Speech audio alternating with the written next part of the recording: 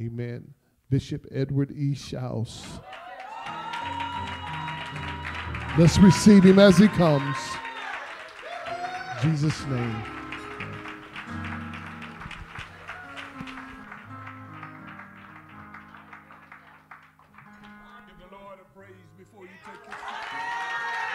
Oh, yes. Come on. Come on.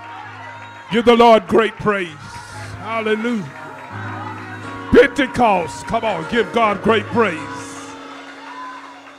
God bless you. God bless you. Please be seated. Lord, it's good to be in the house. Good to be among the saints of God. I know you've had a great time, man. And it ain't gonna take me very long to say what I got to say. Last time I saw most of you, I had a broken foot. You prophesied, and it was true. and for four months, I fought and cried and moaned and groaned. And we, at this age, we don't move like we used to move anyhow. Dr. Clay, good to see you, man.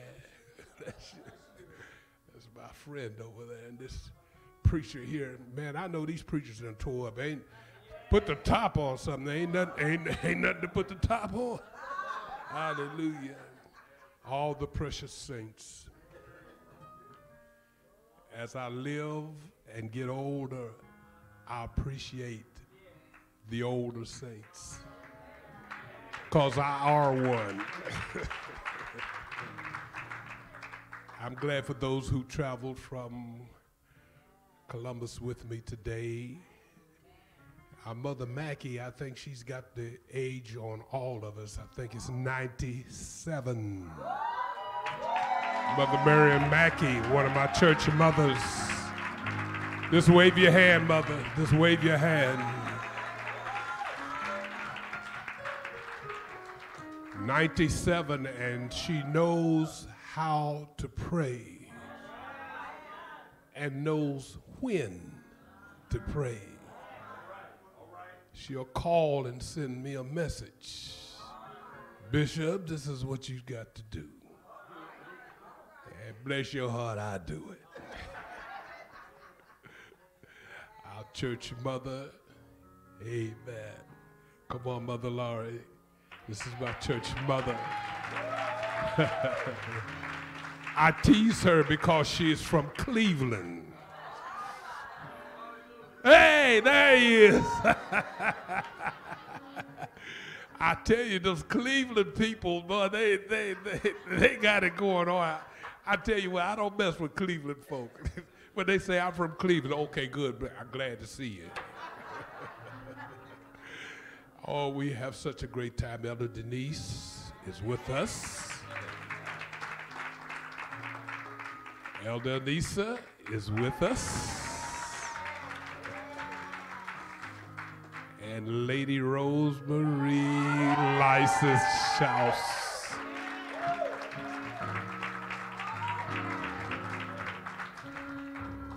We will celebrate 59, I believe, this year. God has been good. And y'all think that's great, but Elder and Sister Clay was married before I was. Amen.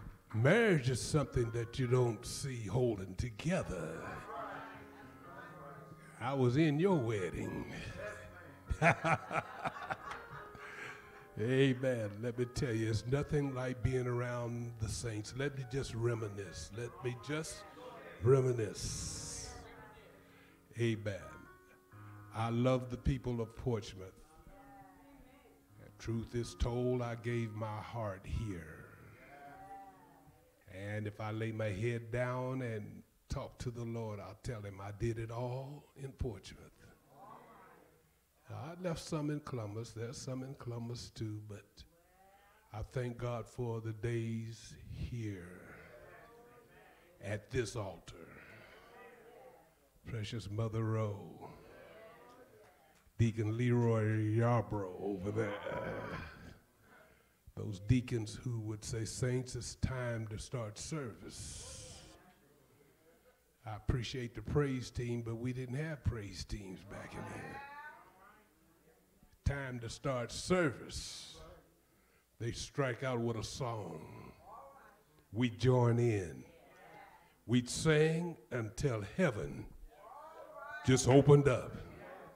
And the glory of God just fell among us. I think the theme is about the glory of God. Amen. Deacon Ship, you looking awful sharp over there. I'm to trust one eye on you. if you can't enjoy the church, if you can't enjoy your salvation, then you're in trouble. Nobody made us come tonight. I heard Pastor say I had to struggle. I had to wake myself up, and we had to rush down to church. We didn't, nobody forced us. We came because we wanted to be here. I enjoy my salvation.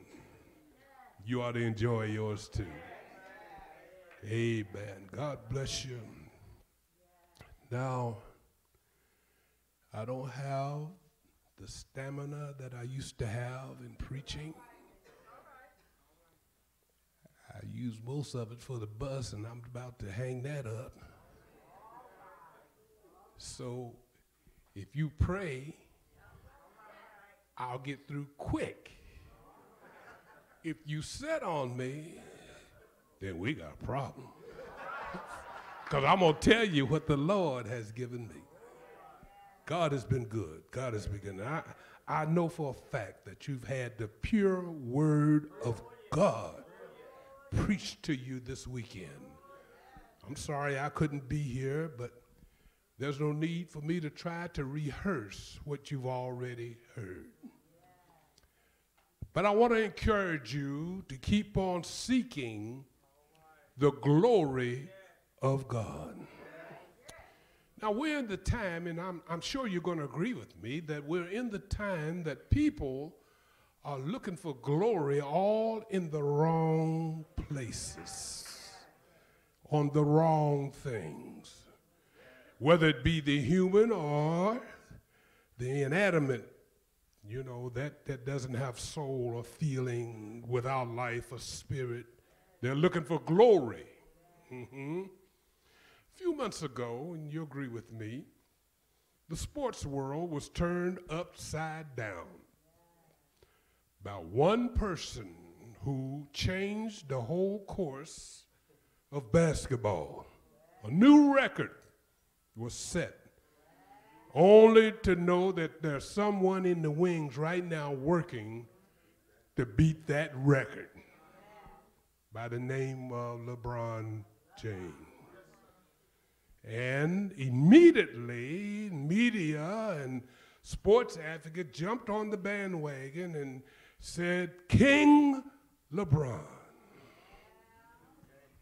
I looked at it and I said, He's done some wonderful things.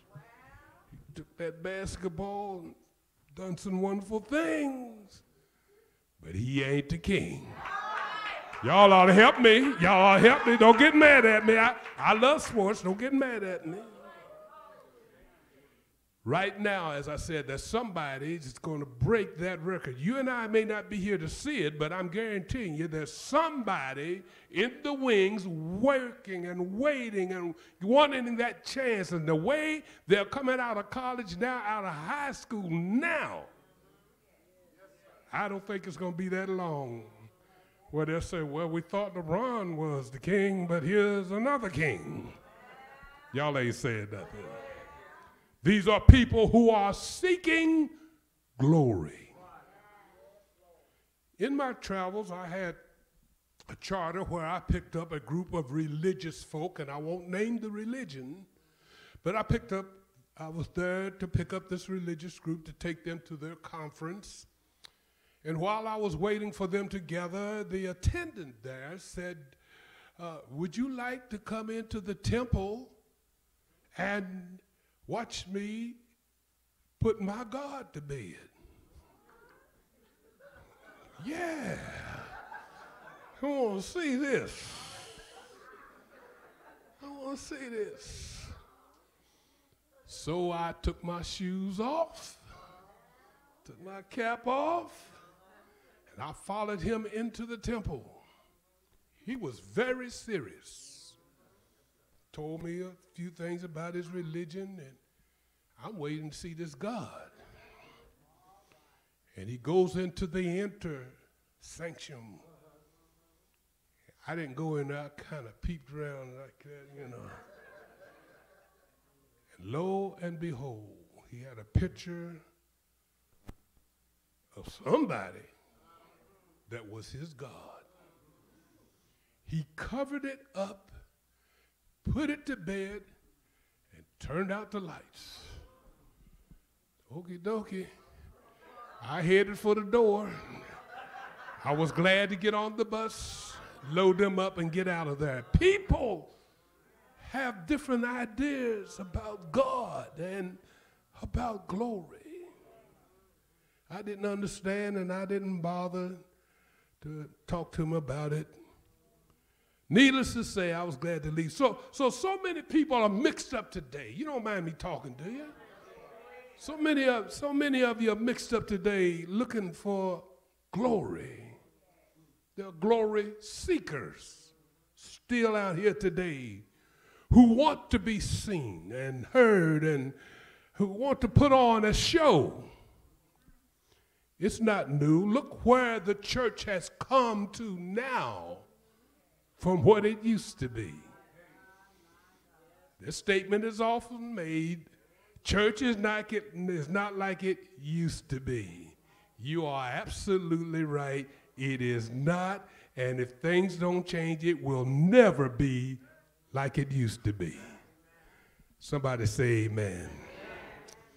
We used to come together without the promise of anything but the visitation of the Holy Ghost, ushered in by saints who used their hands and their voice and laid on the altar, took the horns of the altar and held on to them, held on to us.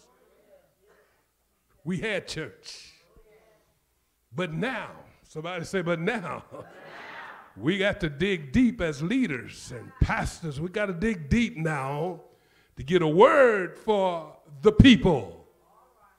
The settings in the church now are so different.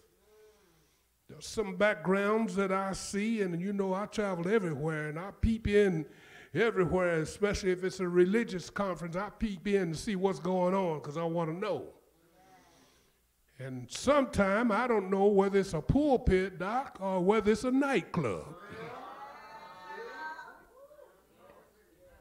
When it comes to the singing now, uh, I get my foot tapping, then I have to stop and wonder wait a minute. Who are they talking about? Who are they singing about? Some of the gospel, you never hear who they're talking about. You never hear who they are worshiping. It's called the crossover. Y'all understand. I, I'm old, but I understand. It's a crossover. It's about the Benjamins, you know. I understand. I, I, I, I, I'm not knocking what I'm not knocking what the leaders have to do today to hold on to the to the people of their congregation. COVID came and destroyed the church just about the human part of it. People died, people left, people said, I'm not coming back.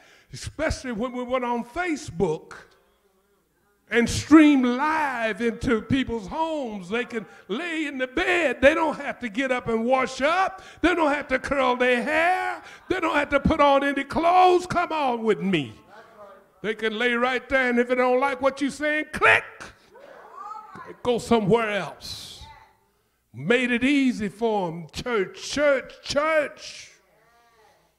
Then the preachers have to find something to pull out of the hat. They had to come up with unique programs, and I don't knock that. But where is God getting the glory? Glory seekers. Glory seekers are nothing new. For one occasion in the Bible, if you remember, you Bible students, there's a, a warning about the glory seekers. Look at the words of the writer in Luke 18 10 14. Two men went up into the temple to pray, one a Pharisee and one a publican. And the Pharisee stood and began to brag and prayed thus with himself I thank God I am not as other men are, extortioners, unjust, adulterers, even as this publican. Mm-hmm. His time, he took time to do some bragging. He said, I fast twice in the week. I give tithes of all that I possess. May I stop and inject this thought to you? Nobody has any bragging rights.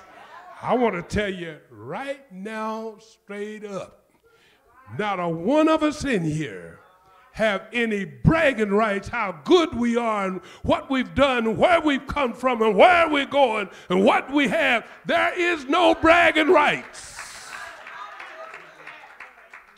My late father used to say there's some good in the worst of us, some bad in the best of us. And the world put out that song, Bad to the Bone. Oh, y'all don't listen to anything like that. Thank you, Donna. Thank you, Donna. I hear you over there. Certainly, this guy had a form of godliness. Now, I'm sure there are some things in his life, just as it is with us gathered here today. We keep a close watch on our closet. Come on now. We have two or three master locks on that closet and dare you to come with any cutters to cut them locks off. Y'all get that in a few minutes. Combination locks even's on there. We have some things. Why do we have? We have some things that we are not proud of. And for real, we don't want any of them skeletons to come out and start. Y'all, they're going to help me. You don't want none of them skeletons to come out of that closet. Yeah, I know y'all saved and sanctified. I know I, I don't want to put a damper on what you've heard. But in that same scripture, that publican stood afar off, would not even lift up his eyes unto heaven, but smote his breast, saying, God be merciful to me, a sinner. If you don't ask God to forgive you every day, if you don't repent every day, I got news for you. You're going to have a challenge going to heaven because all have sinned and come short of the glory of God. No bragging rights. Of course, you might hit it on the head and give a good word, and you might hit it on the head, preach real good. You might hit it on the head and give a good testimony. You might jump and do a good shout, uh, but you still don't have any bragging rights.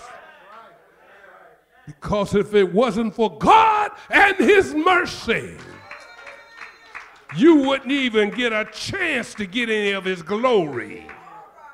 I'm still on the glory train. I'm still on there. You got to understand that glory will come in due time. When we hear the Lord say, Well done, thy good and faithful servant, enter into the joys of the Lord. That'll be glory for me. I don't know about you. I'm just about through. I'm just, just talking to what I wrote while I was on the road here. Some want that pity glory. They want people to know that they're fasting and, and, and so forth, but the scripture gives us instructions on that. Matthew 6, 16 and 18 says, when you fast, don't make yourself look like the hypocrites. They put a look of suffering on their faces so that people will see that they're fasting. Listen, you can get ugly as an ape if you want to, but you ain't right in your heart. All of the fasting, all of that mean look. That's why I can't understand why folk come to church looking all mean like you ready to whip somebody. You can't whip nobody. They come in church looking mean. They act mean. They think that that makes them saved. That don't make you saved. You can have your dress all the way down on the floor. You men can have your beard all the way down to your waist. Bam, but let me tell you, if that heart, somebody say heart, if that heart ain't right, if your intentions are not right, you're not going to see no glory of the Lord. I'm still on the glory train. But the Lord went on to say, in essence, when you fast, wash your face and make yourself look nice. Oh, then no one will know you're fasting except your Father who is in heaven. And he will reward you because you've done it in secret to the people, he will reward you openly. You talk about the church ain't like it used to be. Let the saints get back to the fasting and praying and not doing it to, to get draw attention. Let the church get back to the praying. Let the church get back to the fasting. Let the church lay on the altar. Let the church have the shut-ins and not bring any pillows and blankets. Y'all ain't gonna say anything. You want to see the church return to what we're used to having. If you want to see it happening, and let me tell you, God will not be better to one generation when he'll do it to another. Come on here. The generations before us, they were blessed and God blessed them. You mean to tell me as another generation, we're not going to see any of the, the, the, the miracles that happened then? We are open to that because there were promises that were given to the generations that are no longer with us that was not fulfilled. And I'm just crazy enough to believe they have to be fulfilled. God's word cannot go out to him and return to him void, but it will accomplish that which. Oh, y'all ain't gonna help me. Oh, you ain't gonna help me. Amen. It will accomplish that which it was sent out to do. Oh, bless your heart, bless your heart. Those precious saints, they sang, they prayed, they fussed at us, they held on to us. Come on here. They talked us uh, into be, believing what they believed. Let me tell you, we can still uh, enjoy the riches of God. Come on, y'all ain't gonna say nothing. Let me say this, and you might not understand. His grandfather, who he never seen, stood at the altar, stood at the pulpit in this building when it wasn't this big, and declared some things. They did not happen in his time, but now. Somebody say, but now. But now. I'm a generation that's here Amen. We're moving on. There's another generation. There's another generation behind us uh, that's coming. Come on here.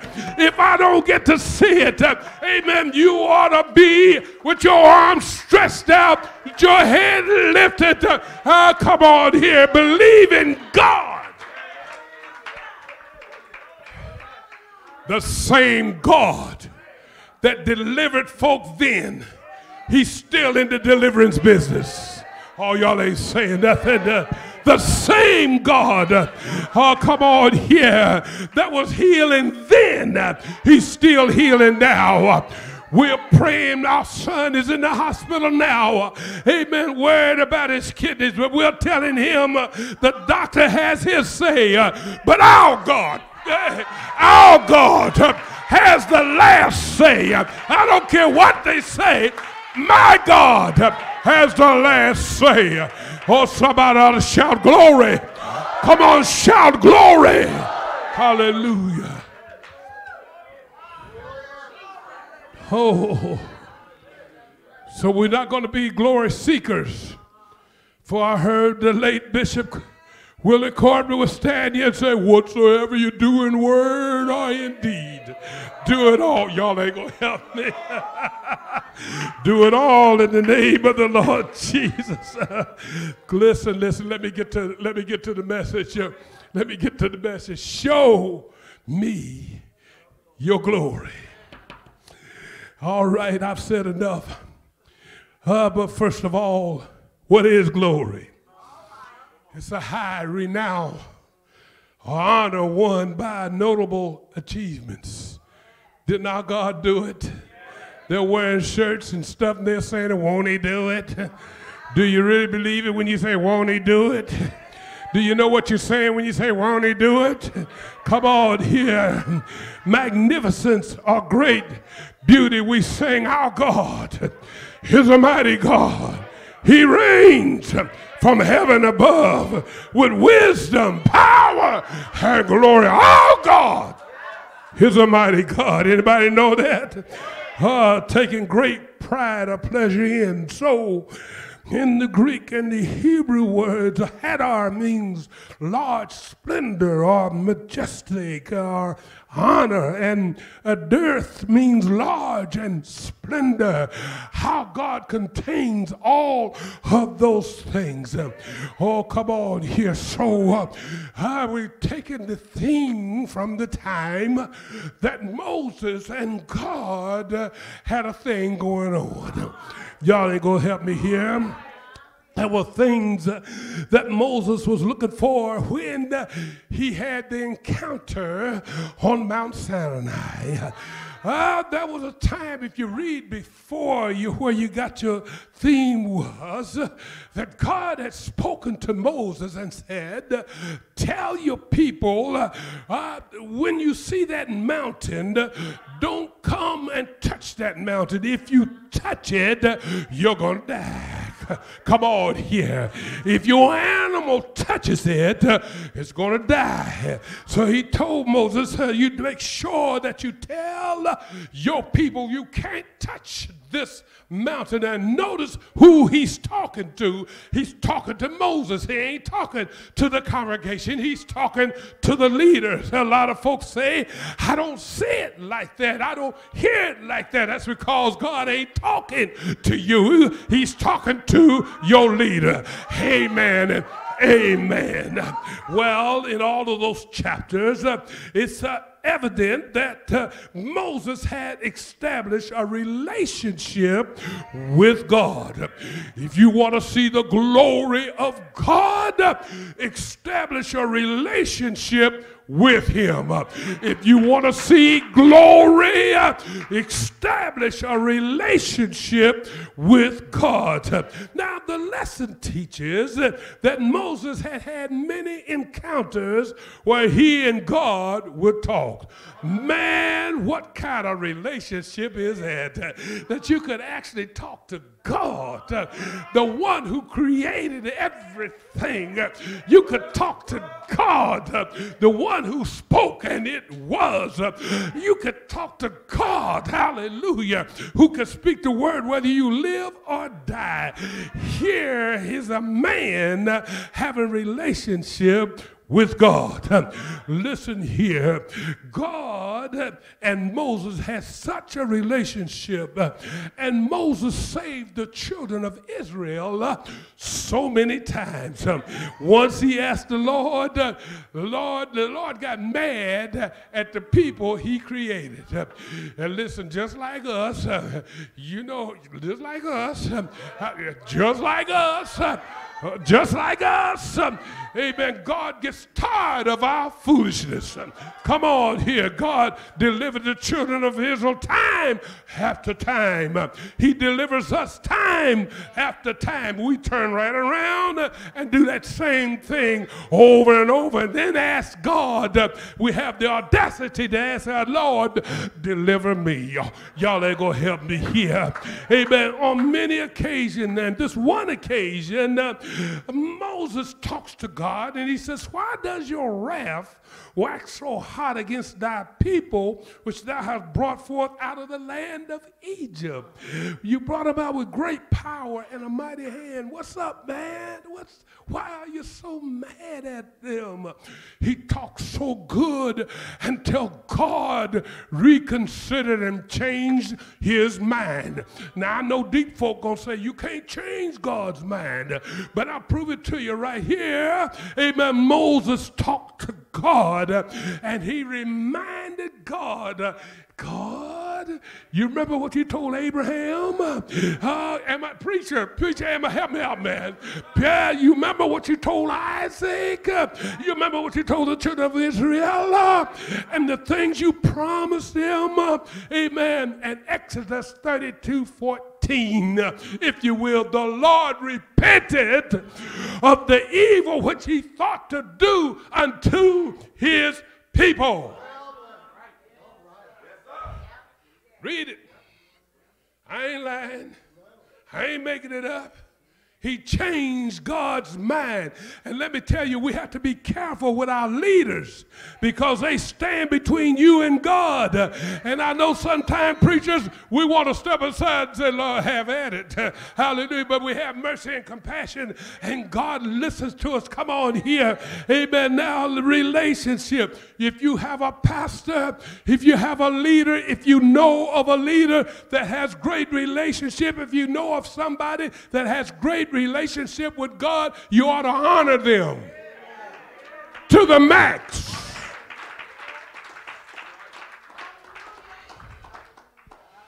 Relationship. Look at the setting here in the main scripture of the theme.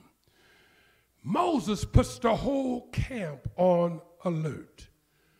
It says the people rose up and every man stood at his tent door. If you read in there, Moses declared unto them, You can't even touch your wife. Hmm? You can't, uh-uh. No, sir. The whole camp is on alert. Your whole camp is on alert. Every man, the Bible says, every man stood by his tent door and they watched Moses as Moses went into the tabernacle. Come on here.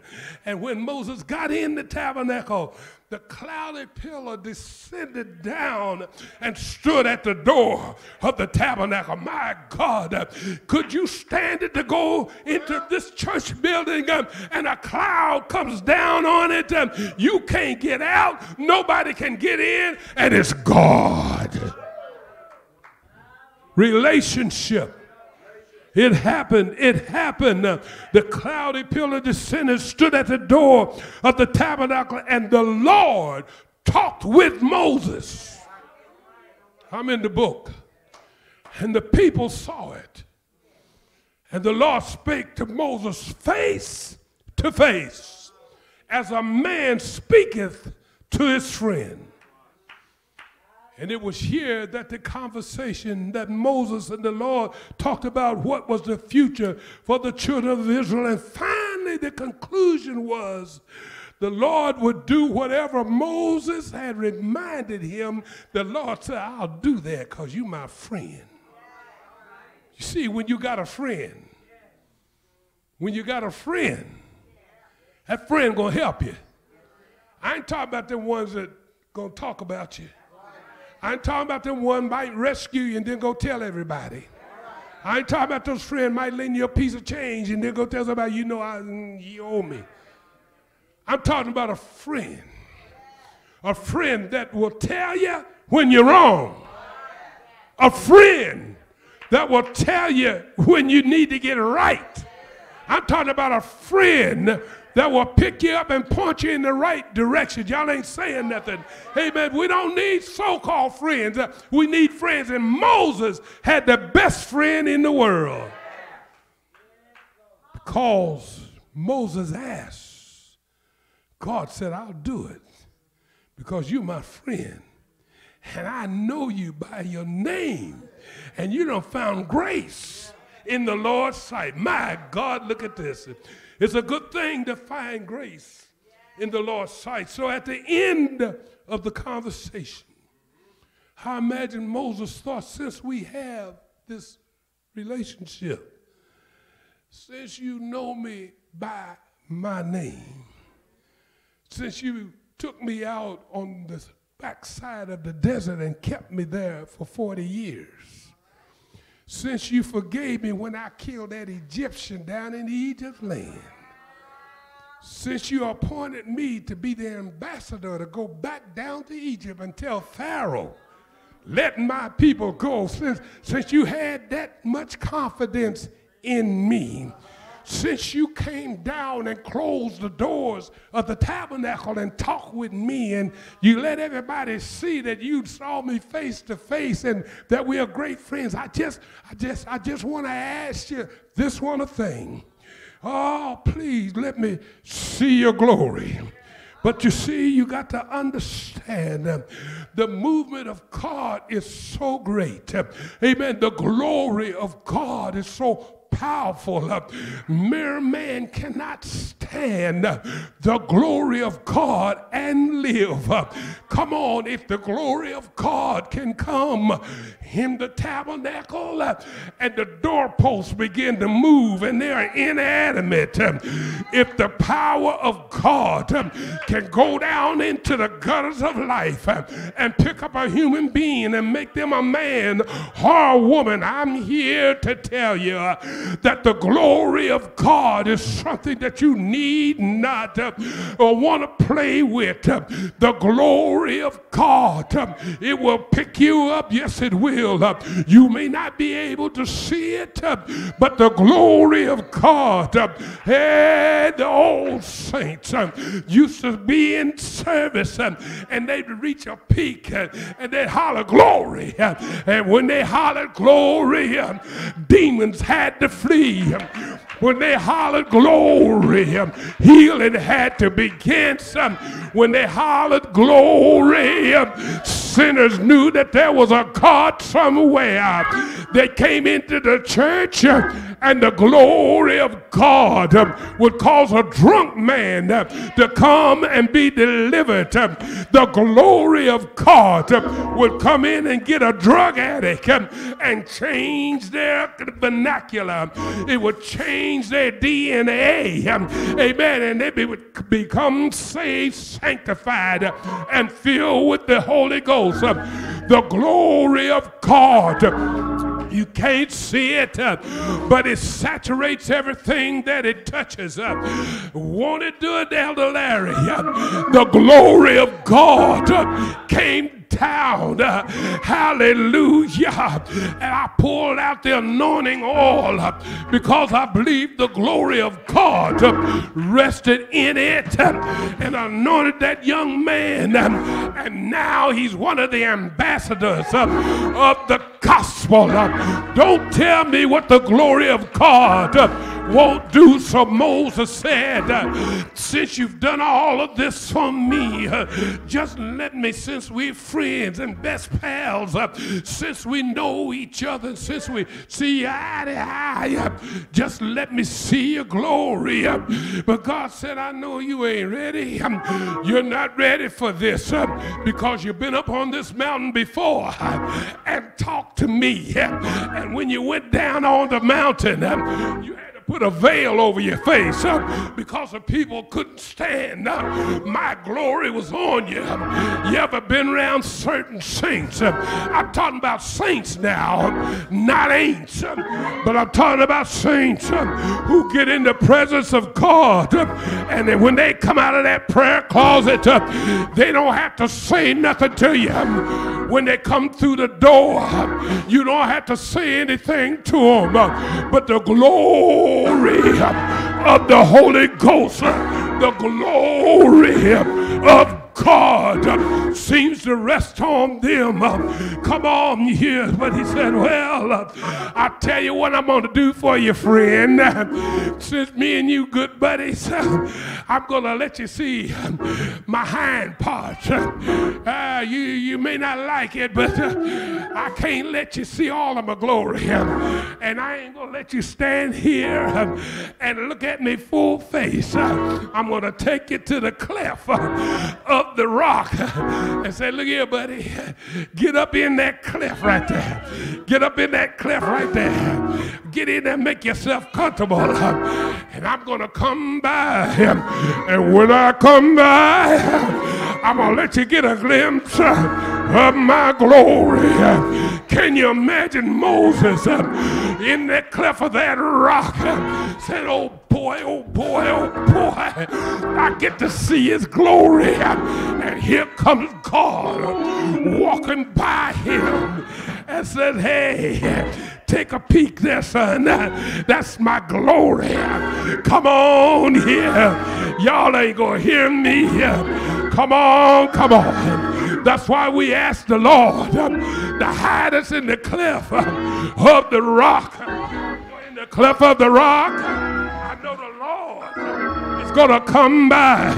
When I hide in the cliff of the rock, the enemy can't get to me um, because I'm backed in. He can't get to my back. And the Lord's going to come by. Y'all ain't going to say nothing here. In the Word of God, I got a hiding place um, in the Word of God, in the cleft of the rock. Come on, give God great praise. Come on, give Him great praise.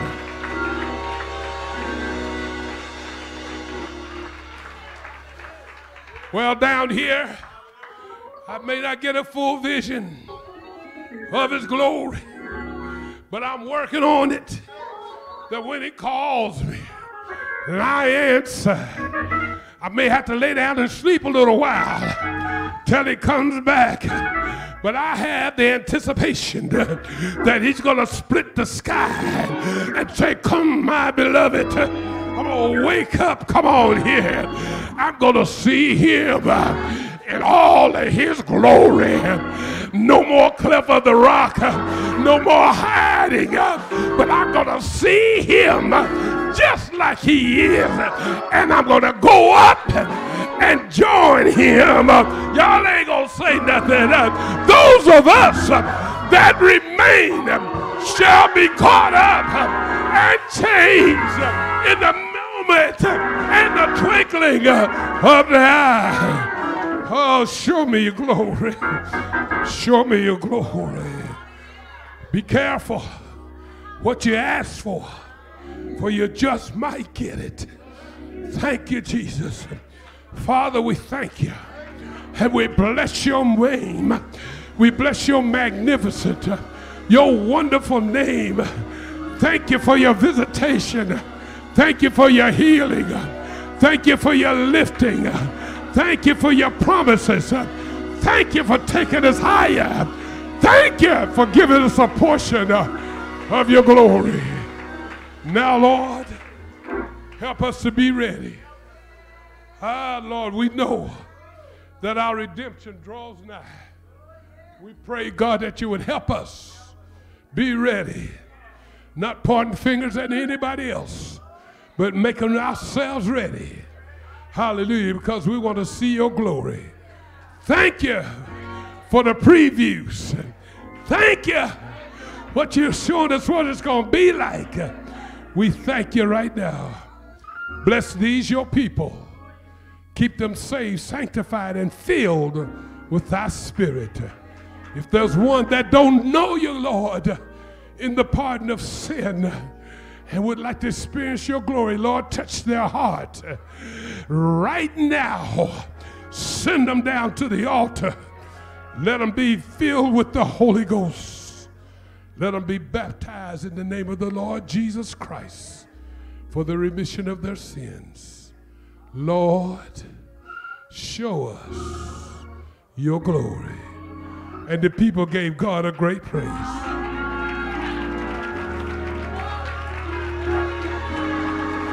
Come on, give him praise.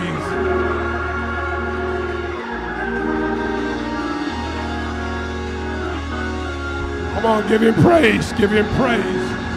Give him praise. Give him praise. Give him praise. Now you say you want to see his glory. If you praise him like that, he to give you some of that glory. If you want to see that glory, you want to experience that glory? Keep on praising Him. I dare you. I dare you. You want some of that glory? Keep on praising Him. Hallelujah.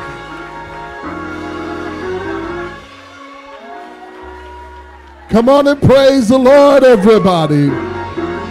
Praise the Lord, everybody.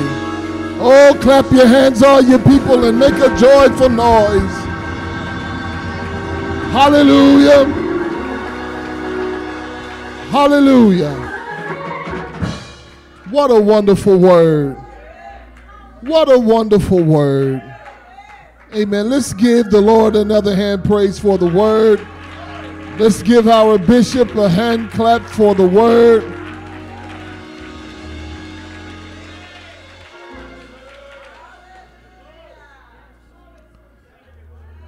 Well, that's it.